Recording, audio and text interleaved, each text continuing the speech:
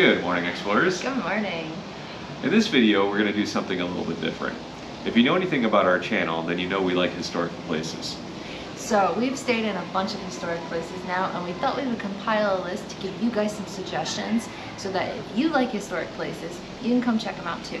Now these places are not modern, they have floors creak and all that stuff, but we think they're really cool. Yeah, there's a lot of history to it. And some of them are haunted. Right. We've never seen any ghosts yet. we haven't caught anything on camera. Well, without further ado, let's get going.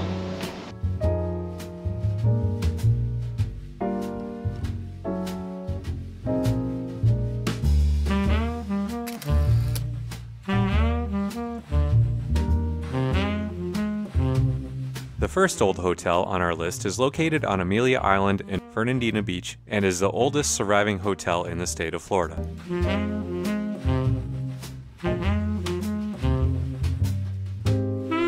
The Florida House Inn opened its doors in 1857 as a boarding house by David Yulee.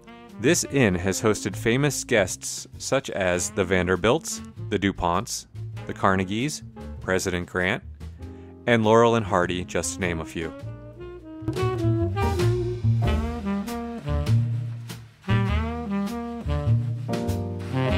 The hotel offers 17 guest rooms, but also includes a sitting parlor, an English style pub, a Southern style restaurant, and large wraparound porches. This bed and breakfast is a fully restored two story building with a charming decor including handmade quilts and hooked rugs.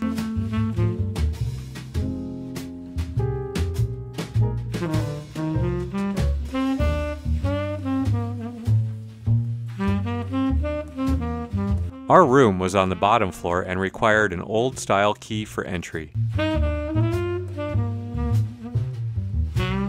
The room included a large bed, clawfoot tub and shower, has one bathroom, and a wardrobe. Everything you need for a comfortable stay. The outside property will take you back to another time. This affordable hotel runs between $100 and $200 a night for the 2024 year.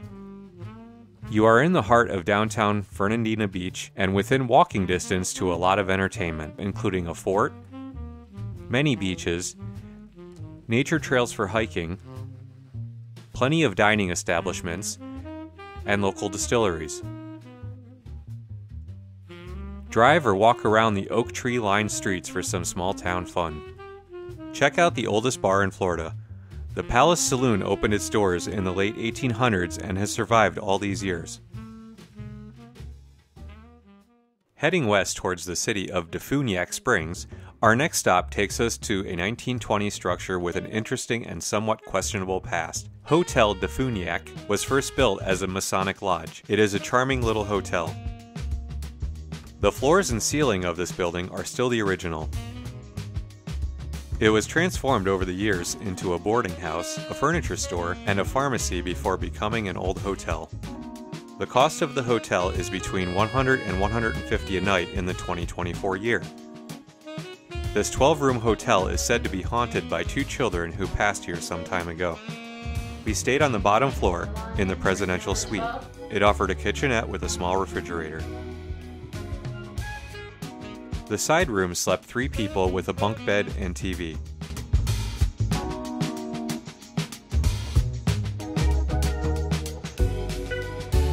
There is also a king size bed with a TV. The suite has one bathroom.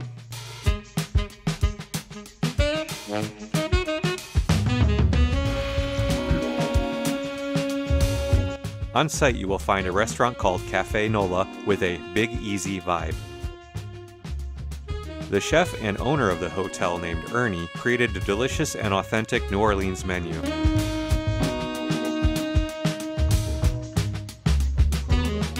The small town of DeFuniak Springs is known for Lake DeFuniak. This is a spring fed lake and one of only two perfectly round lakes found in the world. The main street has a few restaurants and shops for visitors to enjoy. Appreciate the quiet and small town life.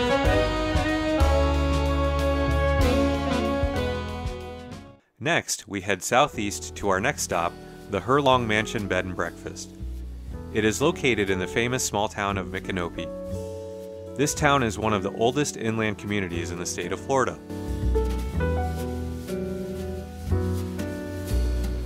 The house was built in 1845 as a simple cracker style pine farm home. In 1910, this home was encased in brick to ensure it would last for many more years. Over the years, it became the two story mansion you see today. In the 1980s, this home was turned into a bed and breakfast. Inside, you will find little decorative charms as you explore the home.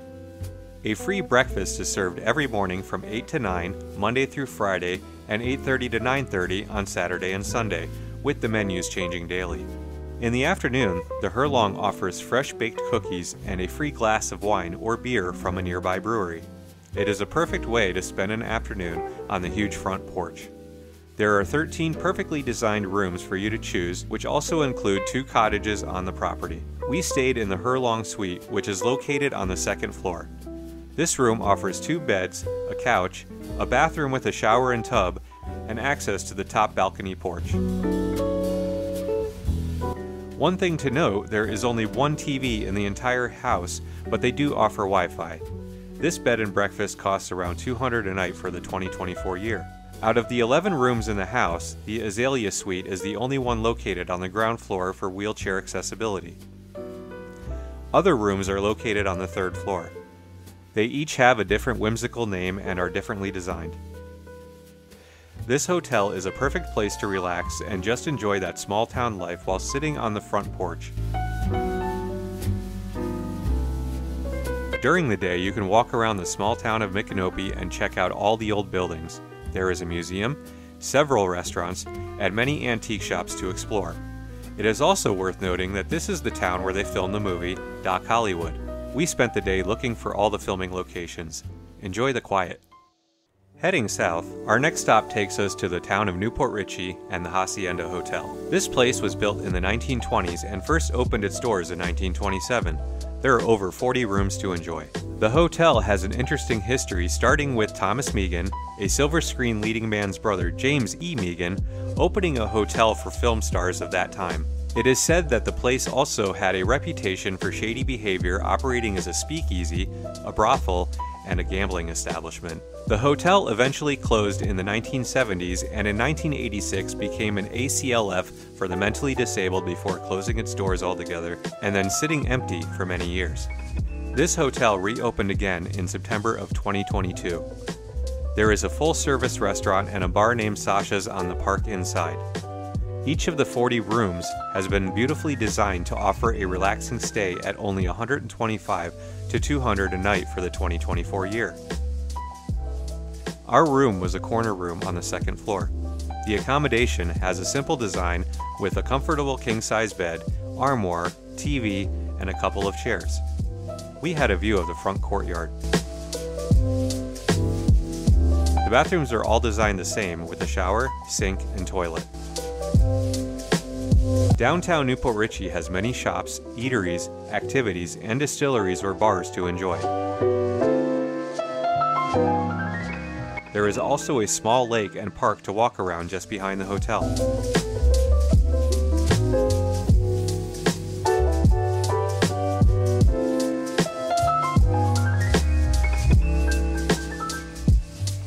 A lot of small town fun is located here as the town has been attracting more and more businesses to join the area. You won't go hungry when you stay at this hotel. Our final stop, we head further south to the town of Belleair for the Belleview Inn. This hotel was built by Henry B. Plant in 1897. This would have been a luxury winter hotel for wealthy guests to escape the cold winters of the north. This hotel has had an interesting history, including its relocation in December of 2016 after being lifted, rotated 90 degrees, and moved 375 feet east to make room for an expanding condo area. A good part of the hotel has been removed, but what is left is part of the original building. With all the add-ons over the years, this hotel was massive. Much of the building's history has been lost over the years as well. The hotel would have been an architectural marvel for its time. The first thing you notice while in the lobby is its lack of support columns. Henry Plant wanted the room to offer beautiful views of the outside property without columns in the way.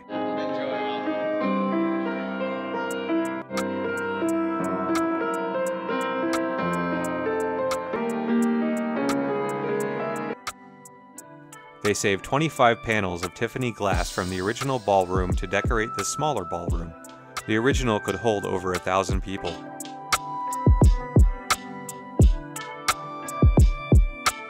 The History Room offers a small museum which includes pictures, books, a video, old menus, and a list of past guests. This list includes presidents, dukes, movie stars, and ball players. Take a QR code tour of the hotel or call and book a free tour with their local historian, Joey. We spent over two hours exploring the hotel and listening to the history of it all.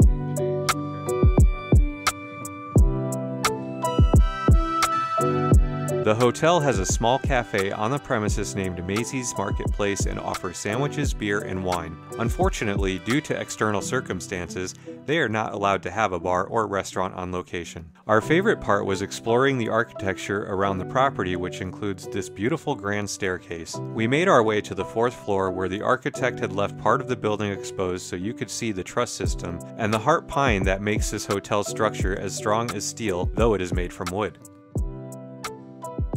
Our room was located on the second floor. It was one of 35 rooms available. We had rented a junior king suite. The room came with a small refrigerator, living room, two TVs, a king size bed, and a private bathroom.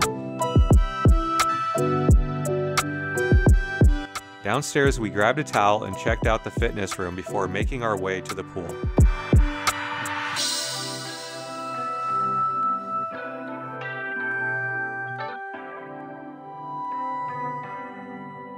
The outdoor area includes a pool, hot tub, and first come first serve cabanas. The hotel also offers free bikes to rent and ride around the property. We decided to explore the area down by the docks.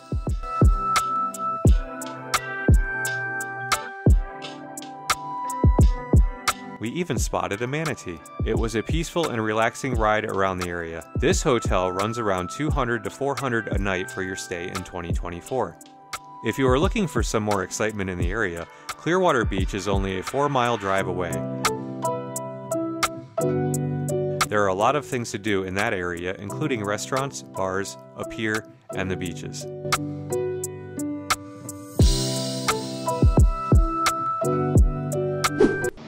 Okay, explorers, I hope you enjoyed this list of videos that we compiled.